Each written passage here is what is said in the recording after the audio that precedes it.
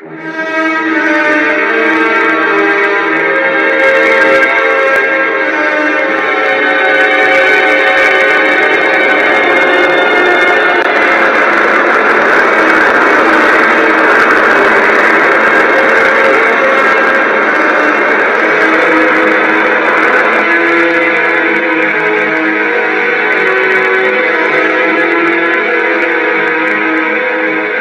to smoke?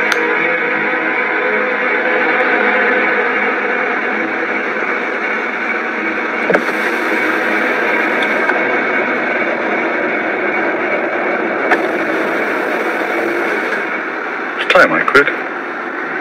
Just like that. No sacrifice is purely altruistic. We give expecting to receive. What exactly is it you expect to receive?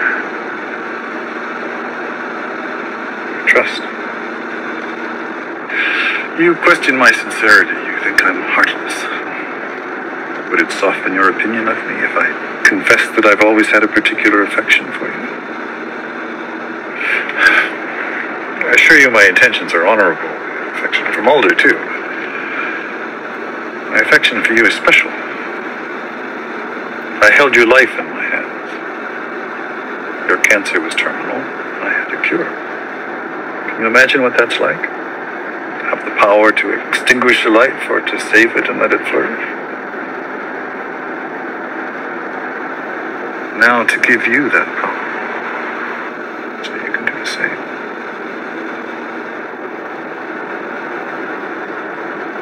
Yeah, she said it was a family matter. Dropped off the key, asked me to water the plants, no biggie. A great girl. Independent as they come, you know, but a great girl. Yeah, yeah. Tenants like having an FBI agent in the building. Gives them a sense of security. You know how many people have died in there?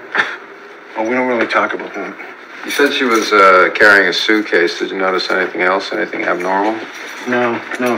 Actually, it wasn't her carrying the suitcase, it was her driver. Her driver? Yeah, older guy, tall. I've seen him here before. Smokes like a chimney. Hey, don't you want.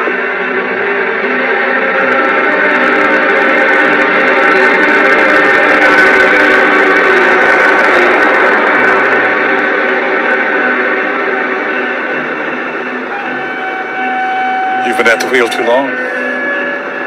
Just like to drive. I might if you let me know where we're going. Knowing that, you'd feel comfortable. You'd trust me. How long did it take Mulder to win your trust? I've always trusted Mulder. You're not being honest with yourself. Think back. There was a time when you feared for your future, for your career.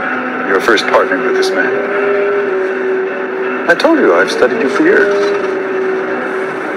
And if you would permit me, I'd like to make an observation. You're drawn to powerful men, but you fear their power.